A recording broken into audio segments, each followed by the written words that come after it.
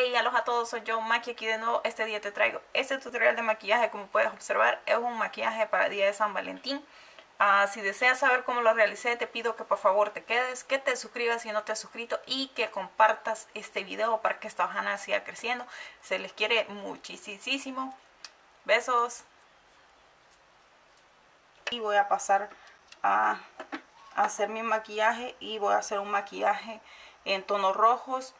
Um, Ah, he visto mucho en, las redes ese, esos ah, maquillajes con tonos rojos, pero bastante rojos. Um, no sé si, si ya los han visto ustedes, pero son bastante rojos. En mi caso no tengo una sombra que sea así de roja.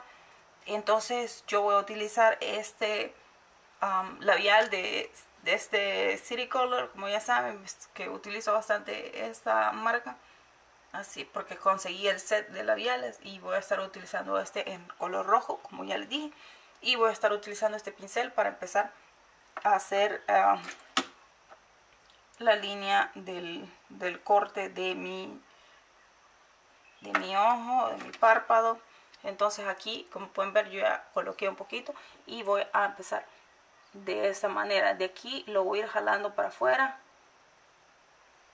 así para afuera para afuera no sé qué tan rojo me vaya a quedar, pero pues la idea es que me quede lo más rojo posible.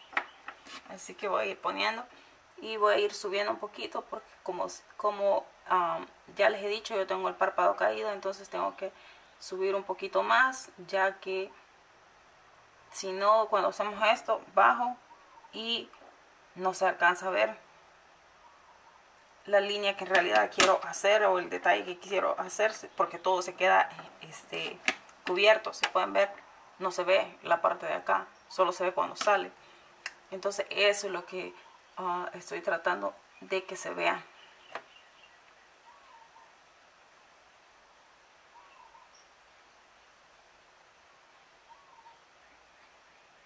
Creo que así funciona, es este ver de frente y entonces ahí vemos dónde es que nos falta colocar el producto ya que como dije yo este las que tenemos o los que tenemos el párpado caído pues ah, no se alcanza a ver lo que hemos colocado en, en nuestro párpado. Ok entonces yo lo estaría dejando así el color, como les digo, este color supuestamente es un color rojo, pero como que, no sé si mi párpado lo veo como un poquito más ah, quizás rosado. Voy a estar utilizando este que les iba a decir de qué marca era, pero ahorita no se la veo. Este se llama, dice que Persimo, no sé, no no, no alcanzo a leer de qué marca es, pero es de las marcas de la farmacia. Y voy a estar poniendo un toquecito de este para ver si así se me... Aunque este supuestamente termina como el naranjoso, pero este es el que voy a estar utilizando para ir difuminando este color o para ir pues, suavizando un poco. Entonces voy a llenar y voy a ir difuminando un poquito esto para que no nos quede así como muy como el labial pues obviamente la textura un poco cremosa. Entonces yo voy a estar pasando y quizás lo voy a estar pasando encima también para que se le vaya un poquito ese esa textura cremosa que tiene y voy a ir poniéndolo así lo voy a ir eh, este alando hacia afuera entonces voy a ir haciendo esto. Mm, como que ya nos quiere llover. Entonces así voy a ir poniendo voy a ir poniendo. Y como dije voy a ir jalando para acá para acá. Y voy a ir poniendo también sobre ya que quiero quitar esa textura. En el párpado haciendo como un como un cut crease. Y voy a estar este quizás no lo voy quizás no lo haré tan alto porque generalmente si, si me toca hacer tan alto se me va todo el párpado casi. Aunque ahí ya me pues ya me llené un poquito ahí.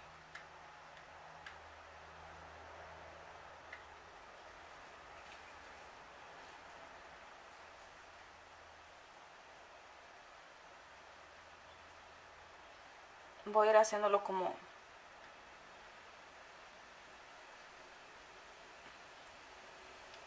como a toques.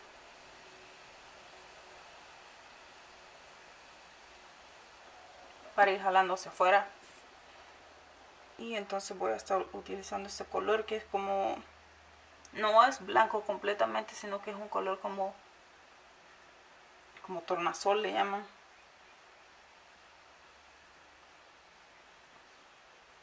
Y voy a estar ah, poniendo todo encima de de la área esta que limpiamos o que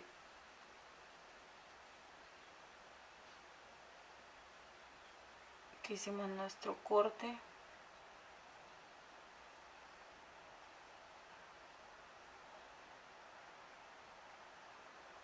Si va a ser con glitter igual este es en, en tornasol. Ah, no me enfoca la cámara pero es algo así el color de, de este glitter aquí yo lo tengo en este contenedor de de contactos de lentes de contacto así que ahí hice mis mezclas porque las hice yo entonces de una manera más casera y voy a estar utilizando un pincelito de esto para estar colocando encima de este para estar poniendo este glitter encima de este corte no muy convencida de utilizar este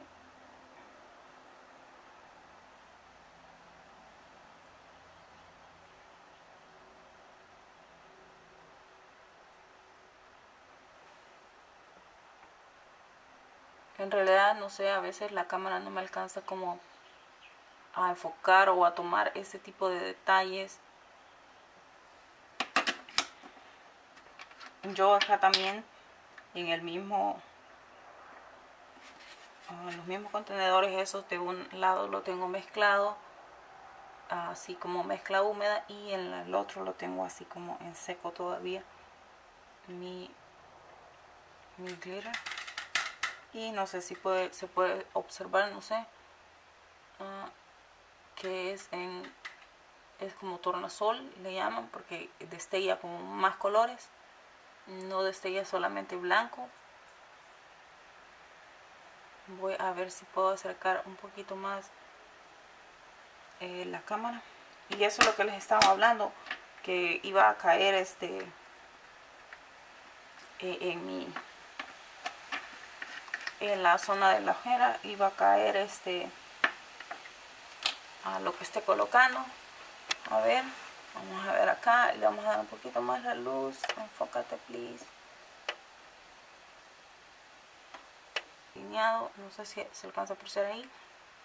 Ok. Entonces aquí vamos a sacar para acá. Aquí vamos a sacar la otra línea.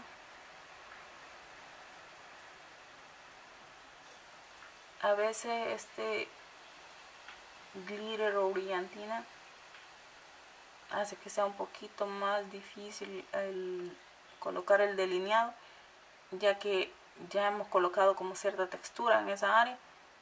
Entonces hay que ir como más de a toquecitos para poder realizar ese ese delineado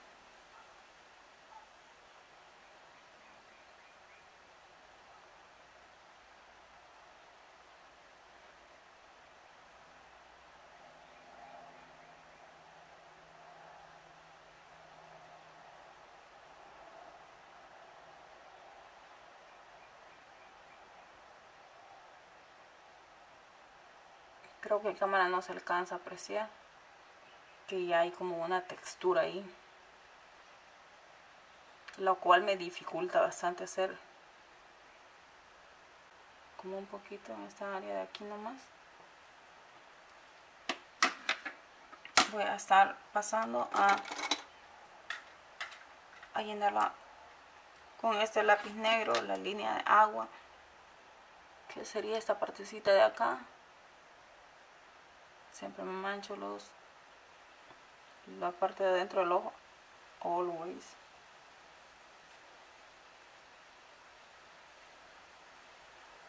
Entonces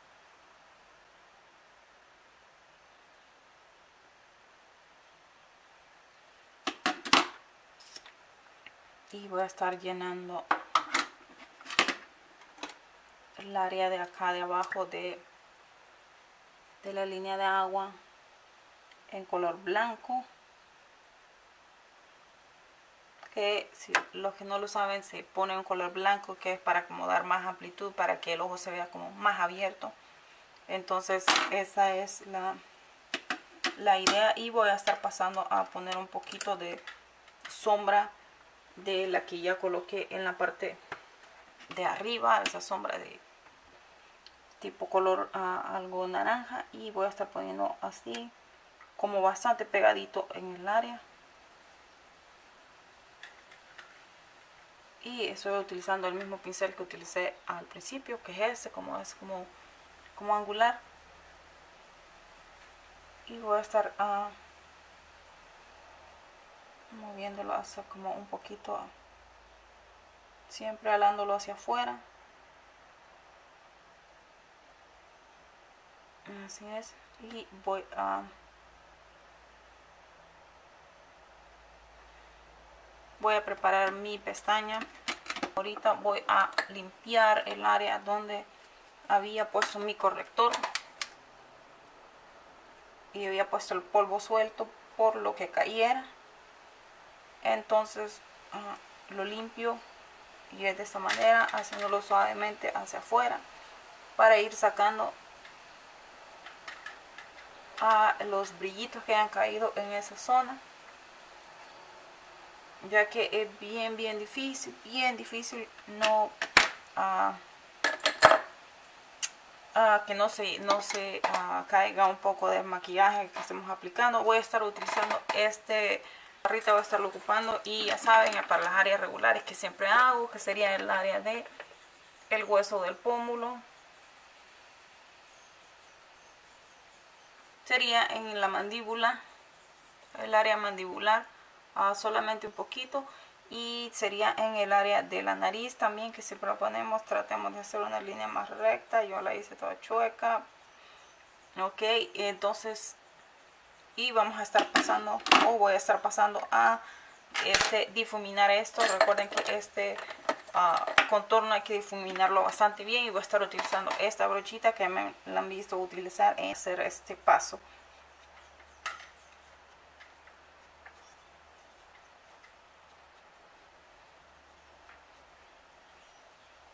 y como ya lo he dicho creo, creo que ya les había dicho este paso se hace para agregar las sombras naturales a nuestro rostro ya que hemos aplicado una base y la base generalmente a veces como estaba explicando si son muy blancas pues borran todo este tipo de características de nuestro rostro. Así que es la idea dar como la profundidad donde hay profundidad y realzar donde tiene que uh, realzar o donde dé luz entonces esa es la idea. Y en este caso en el área de la mandíbula pues es dar un poquito más uh, forma a nuestro rostro ya que los kilitos, la papada y toda y todas esas cosas que vienen con consigo con el sobrepeso. Así que eso esos detalles solo es para hacer un efecto óptico digamos para que solo se vea como que hay una sombrita ahí entonces lo que vamos a hacer sería esto. Y adelgazar o perfilar un poquito la nariz. De, aquí vamos a pasar a agarrar una paleta. Esta vez la paleta de contornos. Eh, saben de que esta para hacerlo de los pómulos para contornear los pómulos utilizo eh, la barrita se me hace más cómoda. Pero para hacer el resto sí utilizo esta perdón esta de contornos y aquí utilizo ah, para agarrar el bronceador. Igual el bronceador es es para dar las sombras las sombras naturales.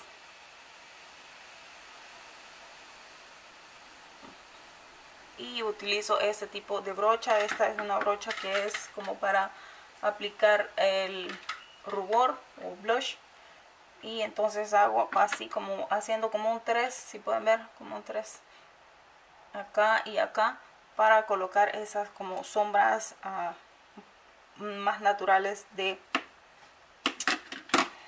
de nuestro rostro.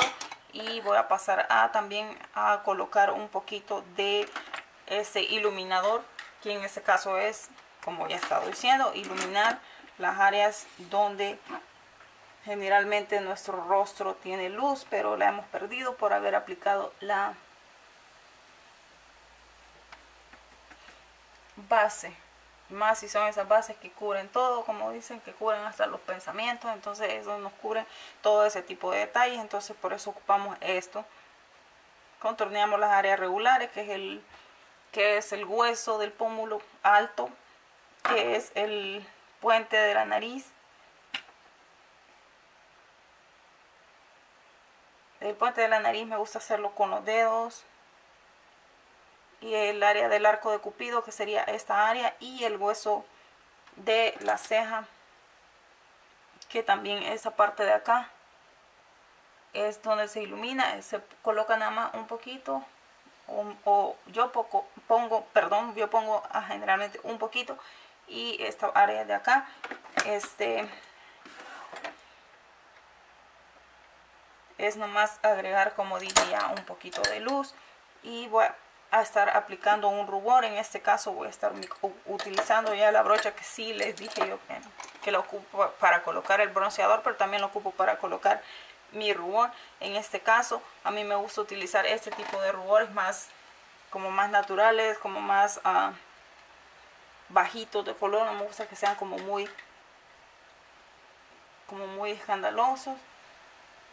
Entonces yo lo coloco así como en la manzana de de mi mejilla y lo jalo un poquito para arriba y eso es todo. Yo coloco bien poquito. Eso es gusto de cada quien. Yo lo pongo como dije ya acá en la manzanita. Tenemos que sonreír un poquito para ver dónde y jalarlo yo lo jalo hacia arriba y voy a utilizar este de City Color para ver cómo me va con este y si no voy a colocar otro encima pero tengo un poco reseco, ya no sé si pueden observar ahí que hay bastante viento, entonces cuando hay mucho viento se me resecan mucho los labios. Voy a estar utilizando un poquito de, de este, que es un serum, este es un serum para los labios y dice que es un conditioning y moisturize este humecta con una sola gota y es como un serum para los labios. Ah, yo lo conseguí en Amazon. Ah, si les interesa saber ah, o comprarlo, pues yo les estaría dejando el enlace en la caja de descripción. Y voy a estar utilizando este City Color en color rojo. ¿no?